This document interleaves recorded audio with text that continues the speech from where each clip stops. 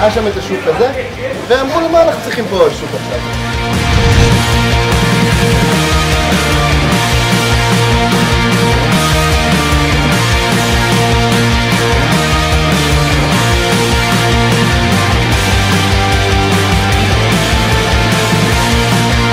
גם מלמעלה.